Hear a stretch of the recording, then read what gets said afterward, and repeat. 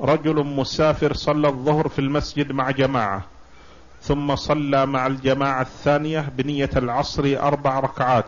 رجل؟ هل مسافر. نعم. صلى الظهر في المسجد مع الجماعة ثم صلى مع جماعة ثانية بنية العصر أربع ركعات. فهل فعله صحيح؟ إذا كانوا يتمون نعم يجب عليه الإتمام اللي صلى معهم العصر إن كانوا يتمون الصلاة فيجب عليه الإتمام تبعا لهم. تبعا لإمامه. نعم.